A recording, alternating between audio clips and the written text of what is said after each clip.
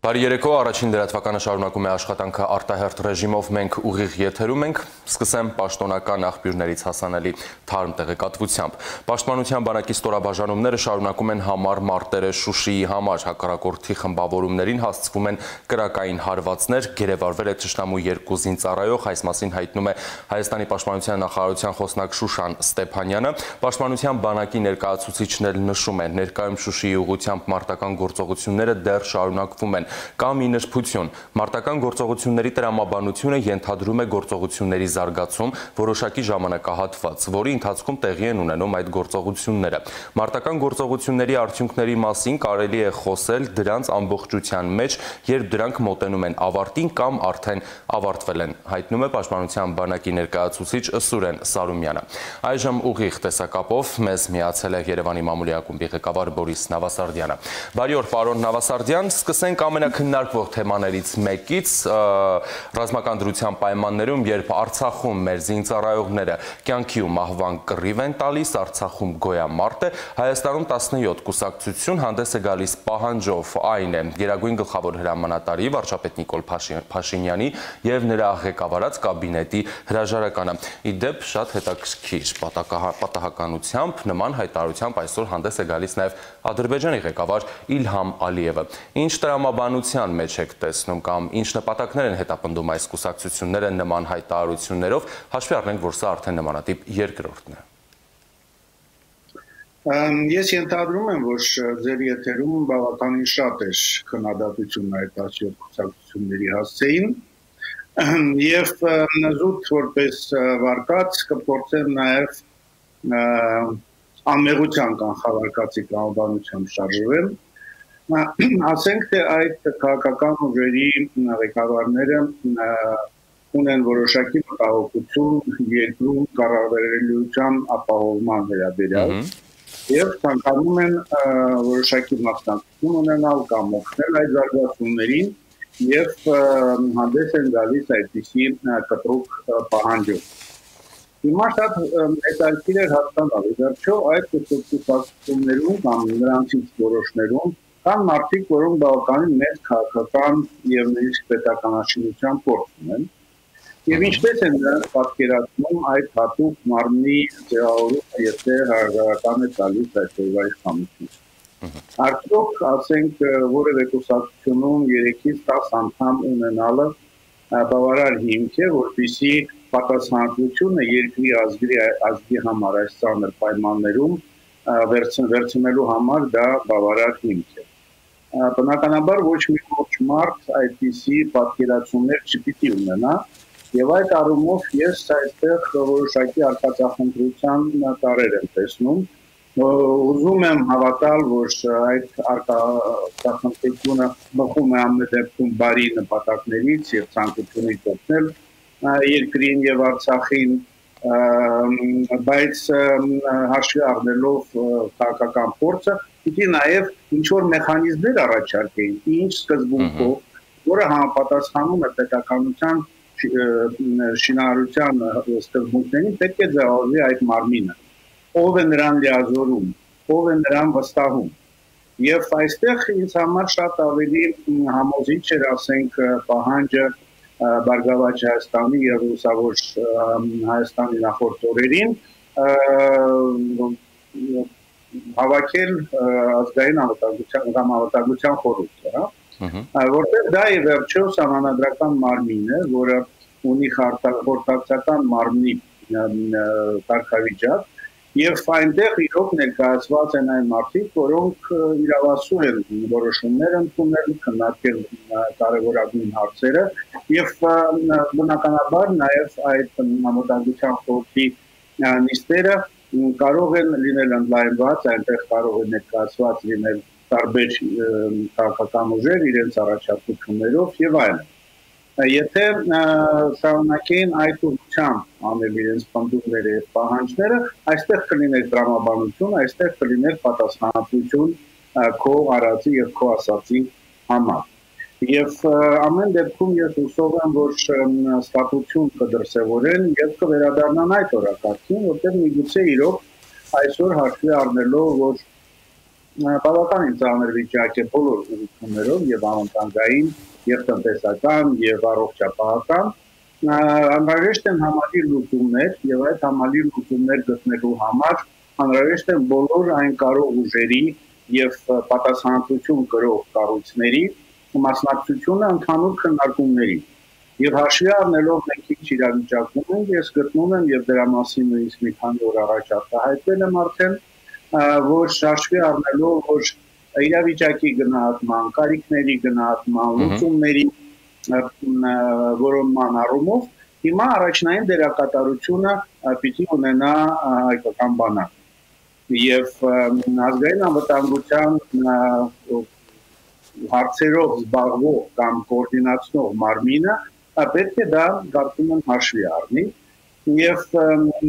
իսկ քաղաքական իշխանությունը կարծում եմ պետք է դա նույնպես հաշվի առնի եւ համապատասխան լիազորություններով օշտի բանակի Երևի դա լուծումներից մեկն էր, որը կարող էր, ասենք, մեր հանրության, մեր քաղաքական միջավայրի հավաքական ուժը միավորել եւ օգտագործել բազմաթիվ խնդիրների լուծման համար բայց նորից եմ կրկնում, մենք միանգամայն այլ ճանապարհով գնացող քաղաքական ուժեր են տեսնում եւ դա իհարկե չի կարող չմտահոգել եւ նաեւ առաջացնել ագրեսիա իրանց նկատմամբ, իսկ դա մենք արդեն տեսնում ենք հասարակության մեջ ընդհանուր քննարկումներ նման կարծես ձևաչափ կար խորհրդատվական բնույթի ինֆորմացիաների փոխանակման նկատի ունեն վարչապետ Փաշինյաններ եթե չեմ սխալվում երկու անգամ հանդիպել արտախորհրդանական այլ ուժերի վարակ եւ դինամիկ են զարգանում իրադարձությունները դա երևի ավելի բարբերաբար պետք է օգտագործել այդ ձևաչափ Պարոն Նավասարդյան, տարբեր բազում լրատվամիջոցներ էին ներկա Արցախում մինչ այս պահը, այդ թվում նաև մենք եւ արդեն իսկ նախորդային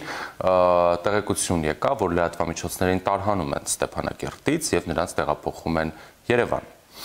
Այնուհետև արդեն այսօր տեղեկություններ են տարածվում Շուշիի գրավման, Շուշին հանձնելու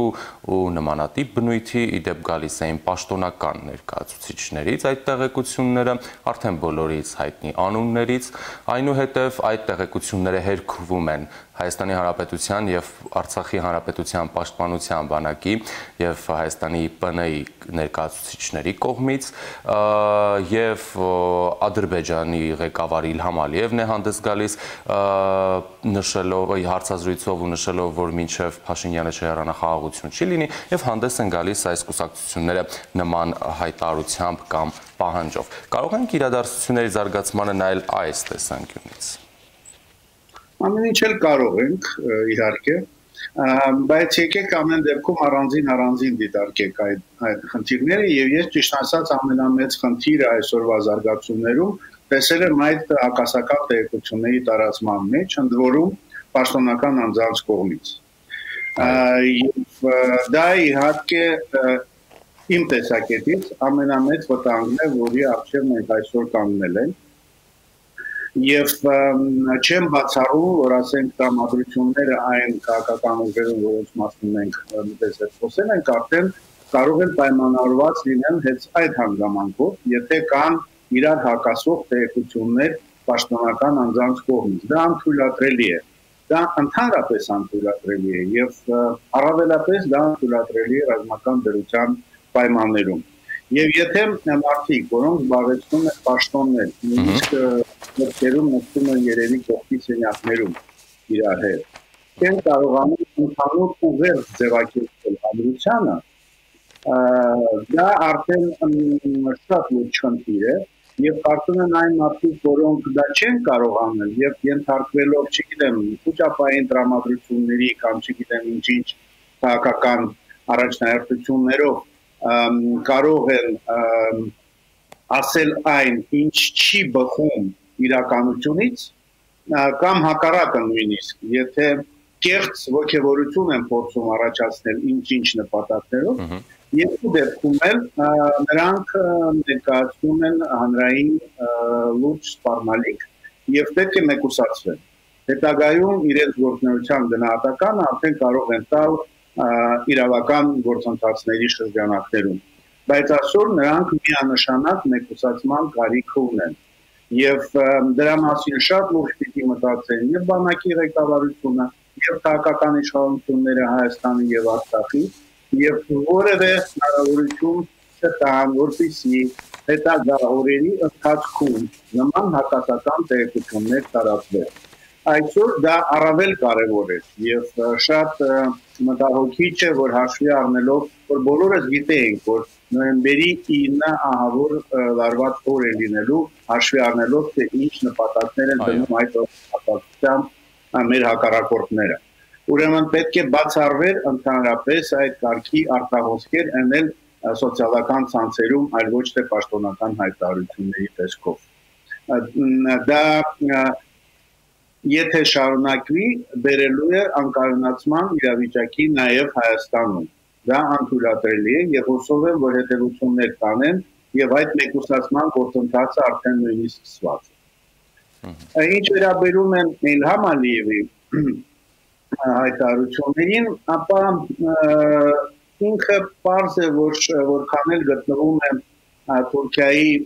ազդեցության տակ եւ կարելի ասել կառավարման ներքո Թուրքիայի ռազմական եւ քաղաքական իշխանության կողմից ամեն դեպքում ինքը գիտակցում է որ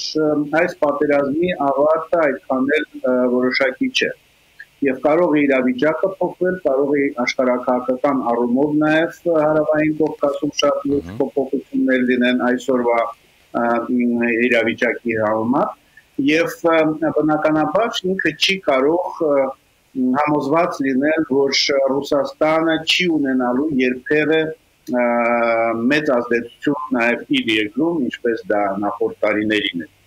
Եվ բնականաբար ինքը ուզում է հաջողանալ Ռուսաստանի, ասենք, իշխանամերձ շրջանակներին, որոնք մենք շատ լավ գիտենք, որ այդքան էլ լավ չեն վերաբերում մեր իշխանություններին եւ մասնավորապես վարչապետ Նիկոլ Փաշինյանին եւ հաջողանալու համար անընդհատ այդ ուղերձները ինքը տալիս է որ տեսեք ես համամիտ եմ ձեզ հետ որ Երևանում պետության ղեկին ոչ այն մարդն է նստած, որը ձեզ կարող է դուր գալ։ Եվ նաև եւ նաև իհարկե բացատրել ինչու ինքը ընդհանրապես խուսափում է հրադադարի շուրջ խոսելուց եւ այլն եւ այլն ասելով որ այնտեղ այնպիսի ոչ կառուցողական մարդ է նստած ում հետ ընդհանրապես այդ թեմայով երկխոսություն վարելը անիմաստ է դրանով որտեղ արտարացնում է իր այդ շարունակվող եւ Թուրքիայի կողմից դրված ագրեսիվ գործողությունը այն մասին ինչի մասին ըստ խոսում է Ալիևը մասնավորապես Հայաստանի իշխանության կամ Հայաստանի ղեկավարի մասով նույն բանի մասին խոսում են նաև այս կուսակցությունները կամ այսպես ասած իրենց ընդդիմադիր հրճակած կուսակցություններն են խոսում խոսում են Ռուսաստանի հետ խնդիրների ինչ որ արկայության մասին խոսում են իշխանության հրաժարականի պահանջի մասին, ինչի մասին նաև խոսում է Ալիևը։ Այստեղ զուգադիպությունները շատ-շատ են։ Դուք նշեցիք Ադրբեջանի կողմից, մասնավորապես Ալիևի կողմից Ռուսաստանին հաջողանալու մասին։ Ալիևը Ռուսաստանին հաջողանում է ռուսական ուղաթիռ Հայաստանի տարածքում խոցելով։ Դեր, կարծում եմ մենք ձեզ հետ որքան էլ մեկ-մեկ հավատանք դավադրապաշտական տեսություններին, հասկանում եք, որ ուղղաթիռը խոցվել է ոչ Ալիևի Լամալիևի հրամանով։ Դա կարող է իրոք սահմանում լարվածության արդյունքը լինել, թեև իհարկե սա դրանքի պահը չի կարելի բացառել, որտեղ մենք շատ լավ հասկանում ենք, որ առաջին հերթին Թուրքիան, երկրորդ հերթին Ադրբեջանը մշտապես ստուգում են թե որտեղ են գտնվում Ռուսաստանի համար կարմիր գծեր եւ իհարկե փորձարկելու են տարբեր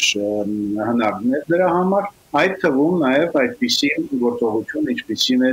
ուղղաթիռի խոցումը այսինքն այդ բոլոր վարկածները մենք պետք է նկատի ունենանք հաշվի առնենք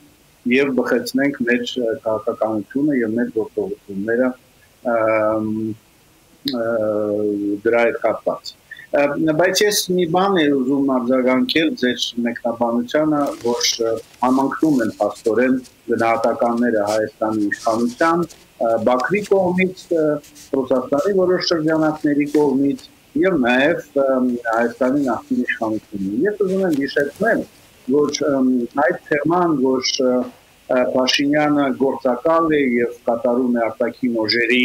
հրահանգները վատթարացնելով Ռուսաստանի հետ հարաբերությունները բացվեց դեռ այն ժամանակ, երբ Նիկոլ Փաշինյանը վարչապետ չէր եւ առաջին անգամ դա այդպես զանգվածային ձևով դրսևորվեց իր հանդիպման ժամանակ հանրապետության հանրապետական կուսակցության ֆրակցիայի հետ 2018 թվականի ապրիլին, հետո դա շարունակվեց իր վարչապետ ընտրվելու երկու նիստերում եւ ուզում եմ ես դրանով ուզում եմ ասեմ, որ դեռ երբ པարզ չէ թե ինչպեսի կարծիք կհայտնի Նիկոլ Փաշինյանի մասին Իլհամ Ալիևը կամ ինչպիսի դիրքորոշում կզբաղեցնի Մոսկվան մեր նոր իշխանությունների նկատմամբ, արդեն այդ թեզը իրականացվում էր, այն հետագայում զարգացվում էր եւ փաստորեն երկու հիմնական քննադատության թեմա կար, որ Փաշինյանը արևմուտքի եւ մասնավորապես Սորոսի կամակատարն է եւ ինքը պատրաստվում է փողեր հանձնել։ Եվ այդ թեման, այդ կոնտեքստը իհարկե ամբողջությամբ չի համընկնում այն տեսակետների հետ, որ այսօր հնչեցնում է Ադրբեջանը կամ Ռուսաստանի որոշ շրջանակներ։ Սակայն հաշվի առնելով, որ իրենց շահերը, որոնց որոնց բովանդակությունը կարելի է ձևակերպել այդպես Հայաստանը առանց Փաշինյանի եւ իր թիմի նրանք արդեն կարող են օգտագործել նաև նույն փաստարկները իրենց շահերը հետապնդելու համար։ Եվ դա ձևավորվեց ոչ թե միանգամից, դա ձևավորվեց որոշակի զարգացումների արդյունքում։ Եվ Իհարկե այս պայմաններում մեր դիվանագիտությունը, մեր տեղեկատվական ոլորտը, մեր քաղաքական շրջանակները, որոնք մտածում են պետության ապագայի մասին, պետք է շատ ակտիվ գործողություններ իրականացնեն, որպեսզի այդ թեզերը սկսեն ընկալվել լուրջ հանրության կողմից, որպես այսպես անիմաստ կատակներ եւ կարծում դրա հնարավորությունը մենք ունենք եւ իհարկե ինչպես եւ բոլոր հարցերում կապված մեր ազգային շահերի հետ այսօր ցանկացած մեր կողմից լուրջ պնդում կարող է ամրագրվել միայն բանակի հաջողությունների պայմաններում եւ վերադառնալով նաեւ մեր խոսակցության մի դրվագին ես ուզում եմ ասել որ այսօր բոլոր գործողությունները պիտի միտված լինեն, որպիսի այդ ռազմական հաջողությունները մենք ունենանք։ Դա բոլորիս նպատակը պետք է լինի եւ ցանկացած հանգարող հանգաման, ցանկացած հանգարող ելույթ կամ հայտարարություն, որը կարող է վատ հետևանք ունենալ հանրային աջակցության համար բանակի գործողություններին։ Դրանք պետք է կասեցվեն ամենայն խստությամբ։ Շնորհակալ եմ պարոն Նավասարդյան դիտարկումների եւ զրույցի համար։ Ուղիղ տեսակապով մեզ միացել էր Երևանի մամուլի ակումբի ղեկավար Բորիս Նավասարդյանը։ Հարգելի հեռուստադիտողներ, շարունակեք հետևել առաջին դրատվականի աշխատանքին, հետևեք նաև բացառապես պաշտոնական դրահոսին, լինենք մեր հայկական հայոց բանակին արժանի թիկունք։